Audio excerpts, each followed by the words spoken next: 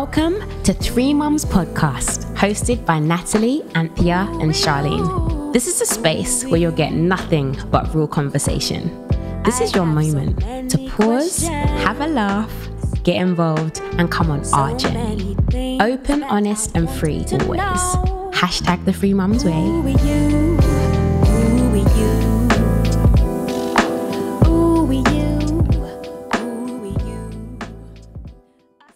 Is the end of season one. Ah, it's exciting. Episode number six.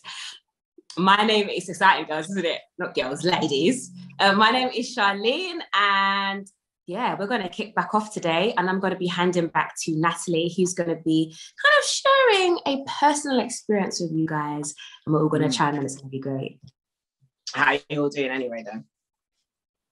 You Okay, okay? I'm good. Yeah, Yeah? I'm good. And how's your week been so far, guys?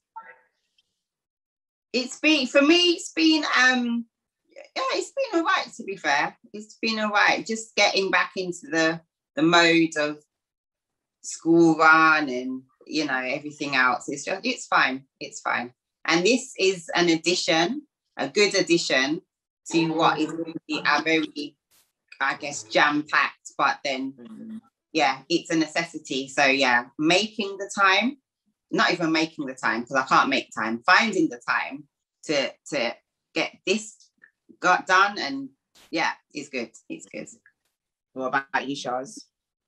I'm feeling good. Um, I just recently, you know, when you guys hear this, my music would have been well out, but I released my second single of the year last year. So I'm just, it's just really good, ladies, to get stuck back in and work again. And yeah, Talia is eight and a half months. Yes, eight and a half months. My mind went blank. Um, and it's just been nice, to, as much as I love being with her, it's just been nice to just do some stuff that's just baby free and this is a massive part of that so have to also highlight for those who are watching on youtube we did not plan this coordination this keeps No. happening like outfit i saw your outfit and i was just like oh my days and that's Seriously, what no, we, we do not talk. We do. I think the only episode we did think about what we was going to wear was our first one. After that, it's like, nice, look, I'm putting on whatever. And literally, Yeah. we come on the screen and we're like, but are you guys serious? Like, how are we, how are we matching? So that's just the thing in it. It's that sister bit. So anyway, I'm going to kick off today, guys. You know what? I'm not going to lie. Up until right this moment, I'm still like, what am I really going to talk about? When you talk about the fact of sharing a part of your journey, 38 years old, there's so many moments in life that make up the version of Natalie that you guys know today. But um, I think the topic I I want to discuss with you guys is on the notion or question of is it real love if it's formed out of codependence? I think that's that's that if there was to be a topic, Wow. it's the question is is it true love or real love if it's formed out of codependence? Um, so to give context to that title, and this is not in relation to my current husband at all. So just to put that disclaimer out, it is 100% true love. But um, like we've mentioned before in previous podcasts, we're church girls. We grew, grew up in the church. You know, there are certain areas that I 100% believe we were not equipped for or prepared for. They just weren't discussed. It's just Yeah. something we didn't have open dialogue in church or even with our parents or with older family members, whatever it may be. But um, I had an amazing relationship with my father, and I'll put this disclaimer out as well. I'm actually going to say, guys, that these episodes are going to share elements of truth that have created who Natalie, myself, Anthea, and Charlene are. And it's our truth. So if you hear us mention names, if you hear us even mention certain scenarios or periods in our life, it's not to put a shame or a negative um, overtone upon that person. It's just us reliving our truth from those moments. And that's, you know, that's just to put that out there. I know that there's people that's going to listen that might want to clutch onto one little negative thing we what we've raised. Remember that we're, we're also telling you something that happened in the past. It means it doesn't define our current, present, or our future. And we might share stuff that defines our present, but we're also working through it and living it. But it's our truth, and that's what this space is about. So yeah, um, an amazing relationship with my my dad up until like 12. Um, I was, I would say, the child that was the academic one. So extremely sporty, but you know, when it came to education, I just got it. Things just made sense. I, you know, I, it just made sense. School work was not hard for me. I loved school. I was an overachiever. Um, but I was very much raised with tough love, is the word. If, if I'm going to categorize it, tough love. I never received praise for all those achievements. It was always like, that's what you're meant to do. That's how it should be. Do you understand? And how I mean? can you do better? And and it was and I could have got an A, and the next question will be, well, next time you need to get an A star. So just to put context into that, you know, and um, I remember hitting like 13 years old. It was year eight in school, and once again, I started secondary school my first year, which is absolutely amazing. And hitting year eight, and um, yeah, just not really caring that much anymore. I, you know, just wanted to have a bit of fun. I think that's what, you know, my peers were joking about. I just wanted to have fun. Like, and I remember going, and I remember this particular teacher who, my science teacher, and I mean, I would step into the classroom, and before I might, like, literally my foot through the door, I'm um, going to the back, and it call me to right to the front to sit at the front. And I just was, I remember going to parents even and telling my mum and dad she's picking on me, you know, and I just say, when it comes like when it comes to there being an issue with a school or a teacher or anybody, when I tell you my dad will fight hard, like when it Big came to situations, as much as my mum, yeah, as much as my mum um, always supported us when it came to those scenarios, you're getting daddy down to school, like my, you know. So I'm like, you need to speak to his teacher. He picks on me every time I go into the classroom. You know, he's instantly on me, like I just felt like I couldn't breathe in this in this person's class. And I remember going in the class and like, you know, if you're watching on YouTube, gonna see me now. Like, and I remember like sitting there, like getting me watching. You know, you, you watch you like, what you know, as my dad's about to. My dad starts to ask him what's going on because my daughter's expressing that you're picking on. I don't like what I'm hearing. And the teacher, bold face, turned around and he's like, "Well, I am."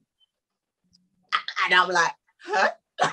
and he's like, "I do pick on her." Your daughter frustrates me so much because she's so intelligent and she's such a you know a, a, a, an amazing student and she's just wasting her life. She's playing about with these kids and in that moment no you thought Jane. I could have just drunk so small. But I'm raising this because as a result of that I ended up getting on my first the first time ever being like grounded. But this grounding went on for time it now just became like every bit of my existence was a reason to ground me.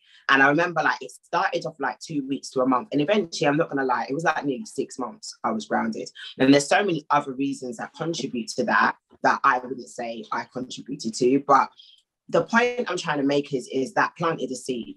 Because what I couldn't grasp was all these years I'd done amazingly well. Like, and never got mm. praise for it. it was never, I never got a well done. I never got a and then, and, and I need to put even more context. When I say I wasn't doing well in school, we're talking C's. Like we're, we're talking C's. When so I wasn't getting A's, I wasn't getting B's. It was at a C level. It wasn't, you know, we're not talking E's mm. and F's and unclassified. Like, so let's get this into context. And there was no sort of moment of reasoning with me to try and understand where I was at, bearing in mind puberty, adolescence. There's so many other things that come into context, but those discussions were not had with me. Um, and yeah, I think from there on out, our relationship became strained, very, very strained. Like, you know, I if my dad was in the room, I'm not going in the room. Do you understand what I'm saying to you? I'll wait till he leaves. And, and this just progressively got worse over the years. remember starting college now, um, and once again, you're forming your own identity. I remember like knowing that when I went to college, I wanted my short haircut. I cut my hair from primary school, from secondary school. I knew I wore glasses. I knew I wanted contact lenses, like you know. And I remember working all summer, getting a job and working all summer that I could get my contact lenses, get the clothes I wanted to wear for college. I had this identity I wanted of myself.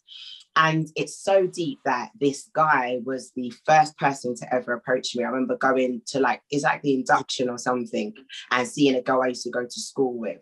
And this guy was like, introduce, introduce, not my type in any way, shape, or form, but. Do you understand? I mean, now I'm not gonna lie to you. He wore crazy mosh, not my type. I do statement, understatement. Yeah, like not everyone in the room needs to know the brand of clothing you're wearing. That's just not my style in that sense. You know, even his hairstyle, just it, he was not my type. I need to express this in every way, in every way, you know, context. Like, and um, he um but he was flattering. It was nice. It was just like, okay. And then I remember like kind of making it clear I wasn't really interested. And he just backed off. And literally for a year, we just spoke every now and then on the phone. Do you know what I mean? Like loads of guys I got to know and whatever else in college. And, you know, I would like to say I was very popular. But, and it's just weird, like obviously as that time progressed, we're just talking every now and then on the phone. Like I said, home life was more strained. And um, I remember it, it was so weird. I remember with my, my good friends at the time in college and he must have been talking to somebody and I must have made a comment like, and she was just like, why do you care? Do you get what I mean? And I was like, I, I, I don't. Like, and she was like, do you like him? And I was like, no. Like, you know, but whatever. Anyway, started to talk to him a bit more. And eventually, like a couple weeks later, it was like, yeah, started going out with each other. But even then, it was joke. It was, it, it wasn't nothing serious in my mind. And fast forward to about maybe five months later, I'm I, will never forget, I was actually at my cousin's house and she happened to be talking about my current husband, who I was always still good friends with, and he was seeing a girl at that time. And once again, she made a comment about their relationship or something. And I was like, yeah, if you think it's nice, then whatever. And she was like, why are you responding like that? And I was like, I'm not responding any old way. And she's like, you know, don't you approve? And I was like, he can, you know, Anthony can go out with whoever he wants to go out with. But and it's so random her asking me, like, could you see yourself marrying the guy that you're with? Bearing in mind, I'm only 18 years old at this time. And I was like, this is gonna sound so weird, but like as young as this relationship is, it's only five months in. I know my dad doesn't like him. And even though I'm not close with my dad, I couldn't mm. see myself marrying a man I don't uh, that he doesn't approve of. But and it's like she was like, so why, you know, we, oh, there was loads of other things she discussed, but she was like, why are you with him? And I was like, I don't know, I love him, innit? Do you get what I mean? But at that exact moment, I felt like I should have come out this relationship, but I didn't. And the root of that was his home had become a safe haven for me.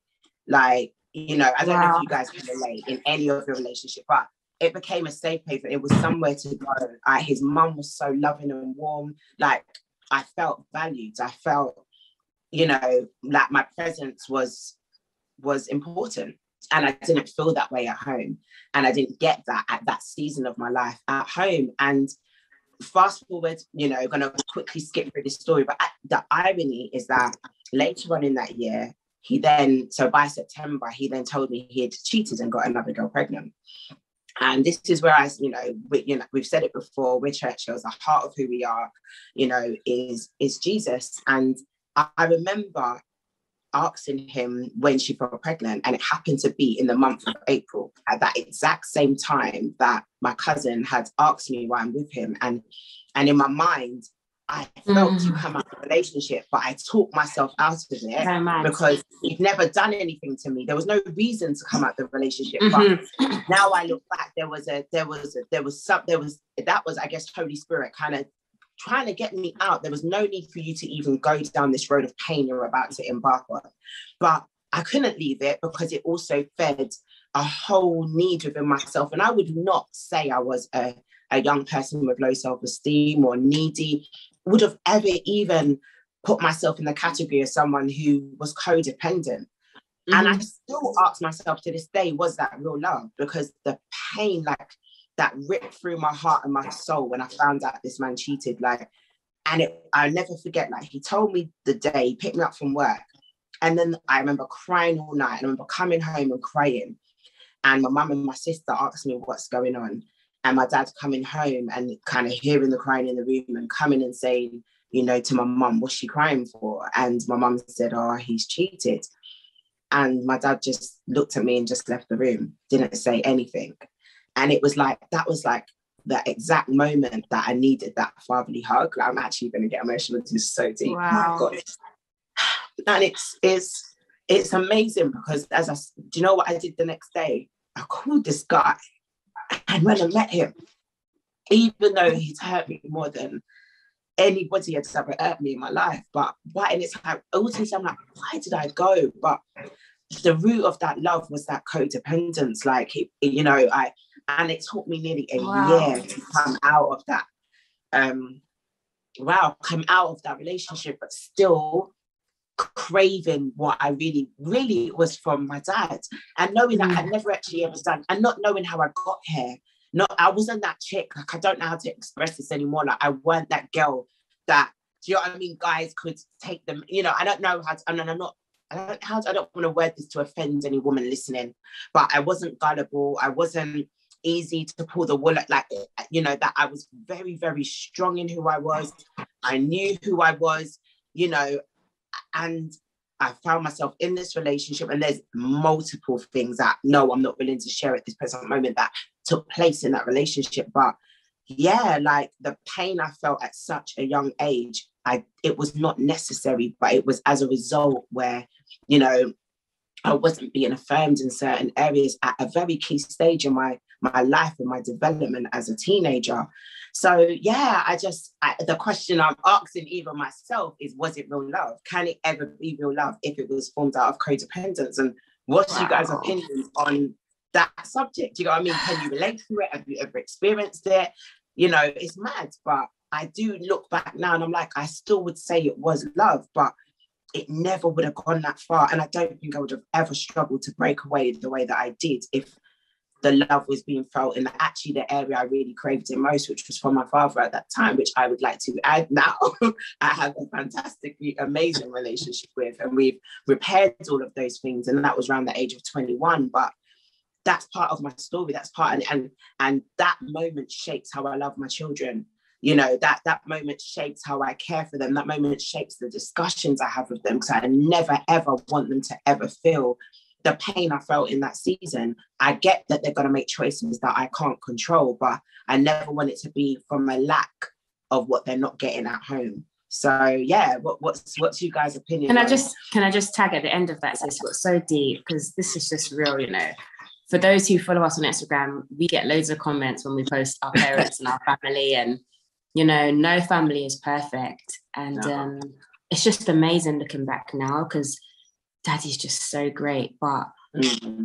no, it, I actually saw a meme once and it said like, isn't it funny how when you get older you just realize how much your parents weren't perfect and they were figuring stuff mm-hmm. out and mm-hmm. they didn't have all the answers just like you know we don't have all the answers but you know you look at your parents and you kind of put them i certainly did but it's like your parents are people just like us now we're adults we have the children and we're navigating stuff and it, you know it's just it's just beautiful to look back and be like see the growth and no one's perfect and it's yeah mm.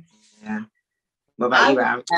Yeah i would yes there's definitely similarities in terms of um, what you've spoken about nat. So i think for me when i reflect on my relationship with my um, father it was it was I would, I would say I had I I have and I had a really good relationship with him, but similar to you, I can now say probably late much later on in life that maybe I needed a little bit of guidance in terms of that father daughter conversation, you know, as to you know, guiding me in making certain choices of the type of man, the type of, of time, I guess, type of boyfriend.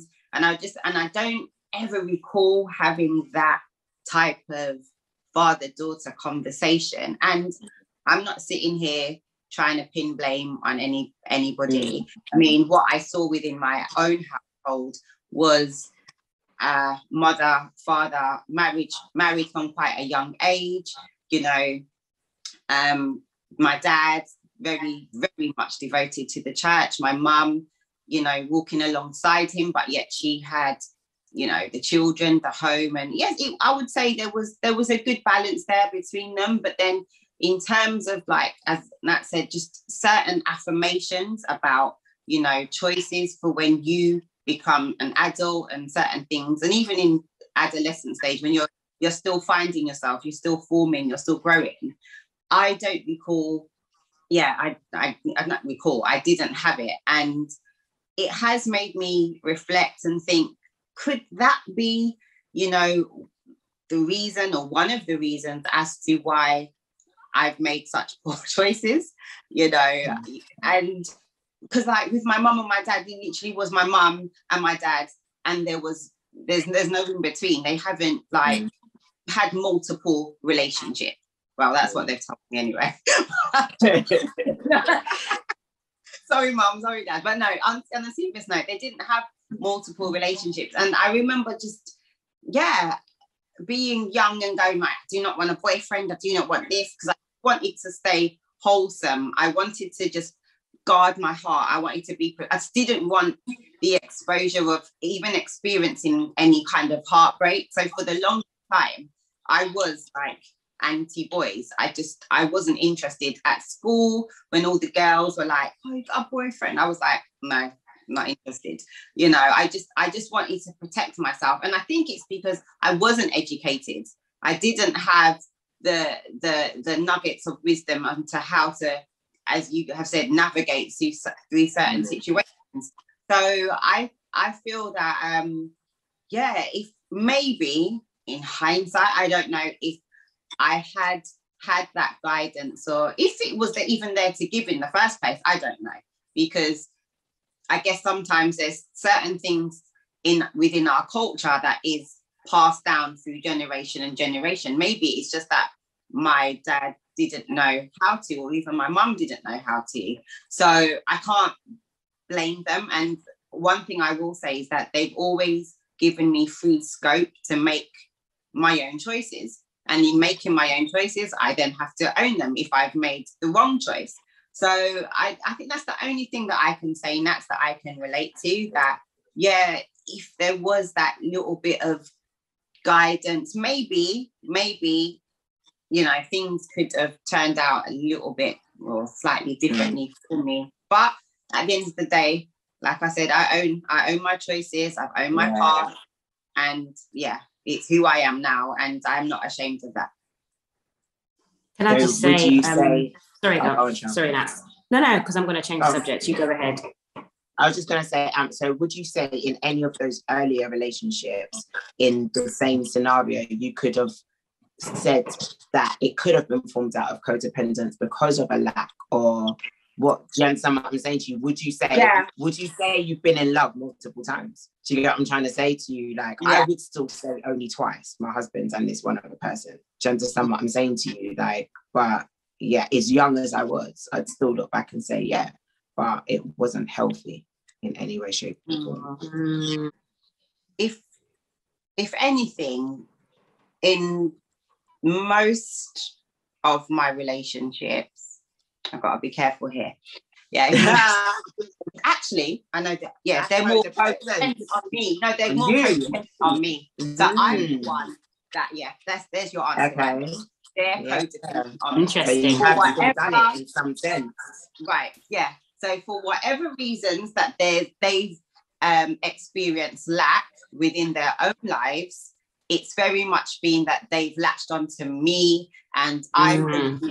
has to wow. be the nurturer, the encourager, you know, and sometimes it, it's left me empty because I've given, given, given, and there's literally nothing left. And it's it's I guess it's in somewhat similar to what um, we spoke about the other week about you know being in a relationship where one person is active and one person is, yeah. passive. It just seems to be a, a, a, I don't know something that follows follows through with me for for most of my relationship. Now, I Charles, I I don't know why it's like that, but that's mm. yeah, that would be my answer. That it's probably then there is still there is maybe something there to still look into. Then um, yeah. you know what I mean? Like because you're on the other side of it, if that makes. Whereas, like I said, I was very independent, but I know that the root of that is that I didn't want to be at home. So it, it got deeper than it ever. Mm. It never would have gone. It never would have gone there. I just wasn't that girl. Like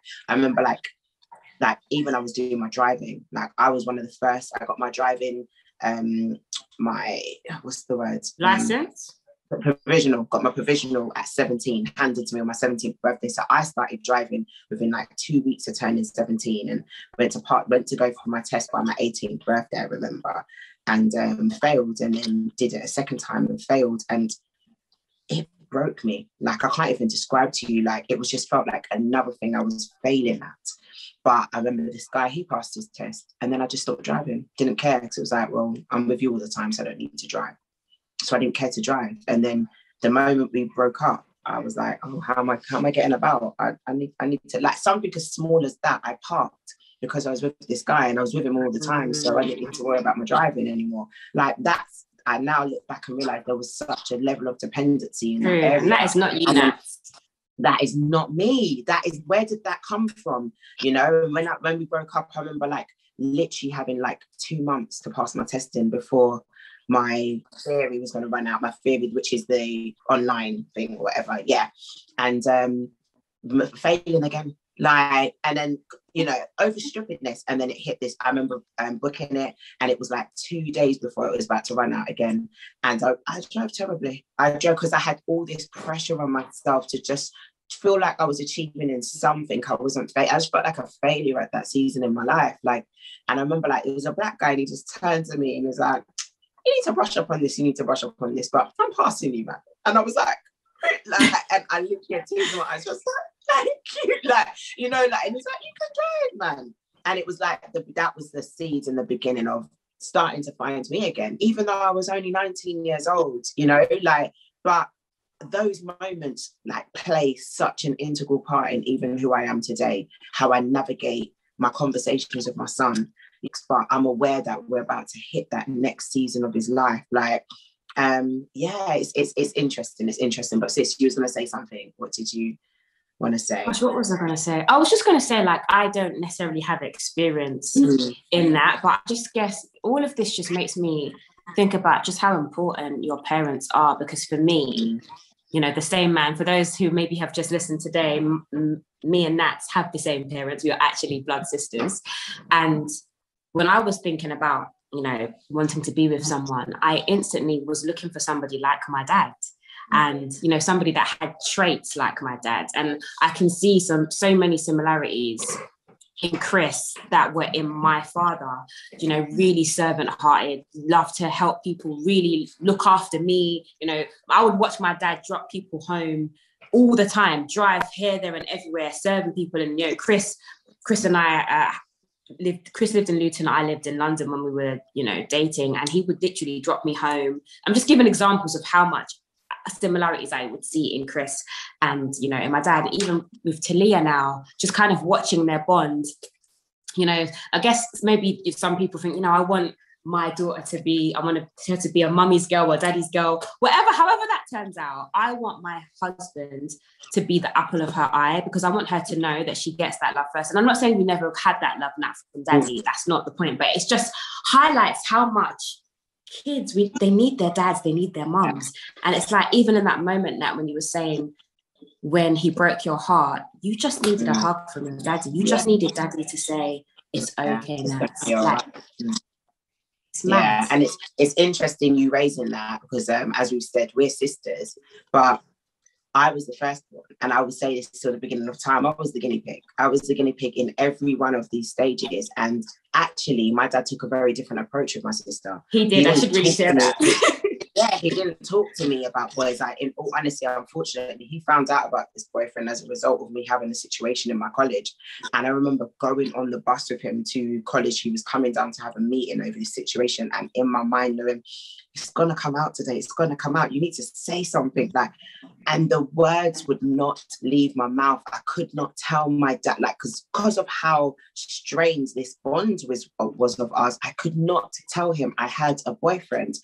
And I never forget like being in this meeting and you know, like this head of year or whatever was like, so you know, Natalie, the young man that like came to your defense, I believe he's, he's your boyfriend. And and I just remember my dad turning and you know, like Superman when he has like the red eyes, like that's what it felt like, like the, the, the beat of and I didn't even turn. I was like, yes, like so, and I I never forget like when we left him, you know, my dad was very strict when we was younger. And I remember him just saying to me, it's cool to when you get home. Like, and just, you know, the whole day you can't function because you just know you're gonna get it when you get in. And I remember when we finally spoke, and it was like, how do you think that made me feel as a dad to hear that information? I was like, but you're not seeing the other sides of the coin. Like it's because of how you are with me. What I could not tell you, and he just kind of pins it on just being disrespectful, and it was not me trying to disrespect. I just those words would not leave my mouth, and then I'd never forget.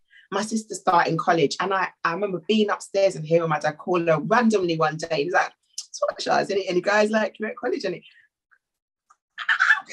what is this? So even though he hasn't acknowledged those pitfalls or those little mistakes of me, he definitely took a different route of openness and, you know, with Charlene being the younger one. And that I think still helped to shape her latter years as a teenager. Do you understand what I mean? And so it, it, it's different. And like I said, I take note in all of these areas as to how I raise my children and and the impact out you know we can't control every narrative I, I, would love that when they're older it's like my mom was the best mom in the world and you know what i mean like, we can't control that but i'd like to believe that i'm doing my best to create a, a holistic you know, mm-hmm. um, element to their their nurturing, their care, their advice, my how strict I am, like in everything. Do you understand what I mean? But I want ultimately that they know that home is a safe place, mummy's a safe place, daddy's a safe place, and there's nothing we can't talk about, you know. And I need them to be affirmed from the home first. Um, and not and not have to look for it elsewhere, even though I wasn't looking. I did not look for it, but just found myself in a situation so just yeah. to tag on that night, it is mad because yeah, I remember when I was going out with you know who things like yeah. in, in college, and I know like looking back now, my dad did not like him. I remember when we were going to the prom and we went to my dad picked him up to take us to the prom. And this particular person who I was going out with, his mum was lovely and his mum really loved me. And she wanted to meet my dad. And my dad was like, No, I'm not meeting anyone today. I was like, Daddy, but she's she's there. She wants to meet you. But I was like, I'm not getting out of the car. Let's just go. Just tell tell tell him to come in the car so I can drop you. Like, you know, that that protectiveness. And now I'm a parent, I get it. Like he did not want me to be that person, but he definitely took a different route, a different, a different yeah. you know, method with me. Like he didn't.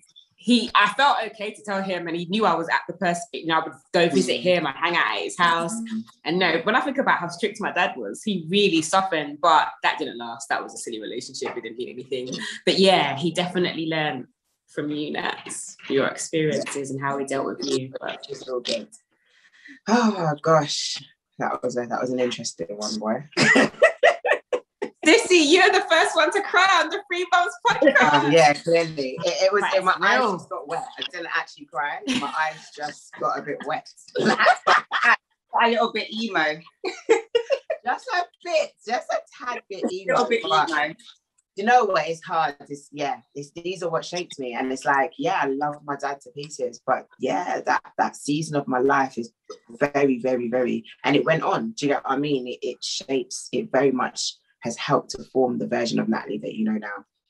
How I love, yeah. how I support, how I engage, like yeah, it's it's you know, and it also helped me even more so in how I chose a husband, how I, you know, there's lots of elements that shape that. Um, had to look at what was it I was paying attention to, what was I attracted to, you know, and why was I attracted, you know. But um, I would have preferred not to go through it personally. If I could look back, I would have preferred my teenage years to be a lot lighter and a lot less stress free. But I think I grew up a lot faster as a result of that. Um, yeah, it's crazy. But my eyes just got wet. That was listen. Your eyes got wet. Your eyes got wet and watery. But you know what? Why are we calling this open, honest, and free if we're not going to be open, honest, and free? Let the tears flow. And for anybody who's listening, you know, diving into the past and doing soul searching is uncomfortable and it mm-hmm. you know, it makes you feel vulnerable. But I think the reward from it is so great because you can pinpoint certain things. You can think, oh, that's why this happened, etc., etc. So, I encourage you, ladies, to do some soul searching of your own. Thank you so much for listening today to the Three Mums podcast. Ladies, do you have anything else you want to say? No, I think like I, I, at the, beginning, I started with the question: Is it true love? If it's formed out of codependence, and I think the answer to that is it can be, but it's not healthy, and it most of you know doesn't mean that it can't last, but it's not built on a firm foundation. Ooh, you, ooh, you. Thank you so much for listening to today's episode. Make sure you follow us on all of our social media pages Facebook, Instagram, and Twitter at Three Mums, except for Instagram, which is three underscore mums. and make sure you subscribe to us on YouTube. I have so many questions